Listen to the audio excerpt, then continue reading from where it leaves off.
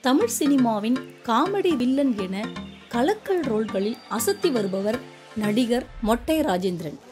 இவரின் கரகர குரலும் கலகல பேச்சும் இவருக்கான அடையாளம் என்றால் அதையெல்லாம் கடந்து மொட்டை தலைதான் இவருக்கு முதல் அடையாளமாக இருக்கிறது. அதனால்தான் ராஜ் என்று கூறப்பட்டவர் மொட்டை ராஜேந்திரன் என டைட்டில் கார்டில் கூட வலம் வருகிறார்.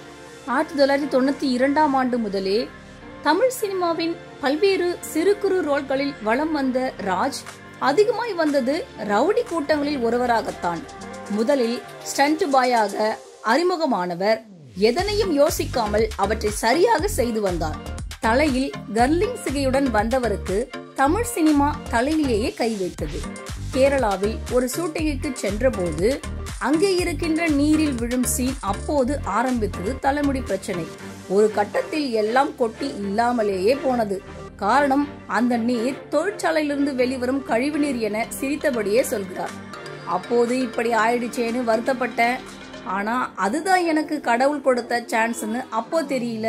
இப்போ கண்டிப்பா உணர்கிறேன் என்று அவர் கூறியிருக்கிறார். பிதாமகன் நான் கடவுள் படங்கள் திரையில் தன்னை உயர்த்தி காட்டியது நான் கடவுள் ராஜேந்திரனாக வலம் வரத் தொடங்கினேன். காலப்போக்கில் அது மொட்டை ராஜேந்திரனாகவும் மாறிப்போனது என்றும் அவர் தெரிவித்திருக்கிறார். தற்போது தமிழில் நூற்று முப்பது படங்கள் வரை நடித்துவிட்டேன் என்றும் தனக்கு கொடுக்கப்படும் ரோல் எப்படியாக இருந்தாலும் அதை தட்டி கழிக்காமல் ஒப்புக்கொள்ள முயற்சிக்கிறேன் என்றும் மொட்டை ராஜேந்திரன் கூறியிருக்கிறார்.